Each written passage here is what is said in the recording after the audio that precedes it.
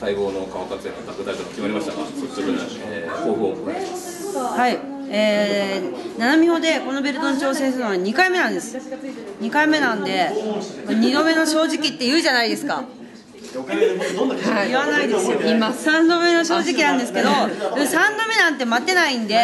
はい、もうこのチャンス手繰り寄せたチャンスを絶対ものにしたいと思ってます。このチャンスをくれた七井さんにも私は絶対このベルトを巻いて大阪で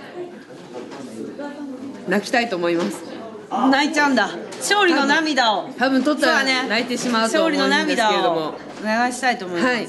負けて泣かないで勝って泣きます。そうだね。うん。はい。よろしくお願いします。えー、七海穂相手にタイトル防衛戦決まりましたが率直に感想をお願いしますまあやりたかったはやりたかったんですけど、まずタックリーグ決勝にもね上がってこれてないでね、ちょっとそこがね引っかかるけどまああのうちら引き分けちゃってるからね一回当たった時に。まあそこを今回きっちり勝ってうちらの方が上だっていうのをねみんなにも見せつけたいと思いますね。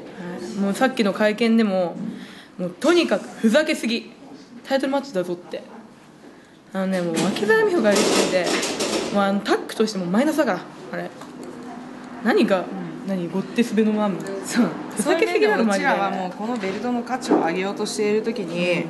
まああいつらの手に渡さなきゃいけないなって、まあ、改めて思いましたね、価値が下がるあんなやつらが、まあいてベノマームだなんだなんだっていう言ってたら、はいそんなやつらにこのベルトは絶対渡さないし、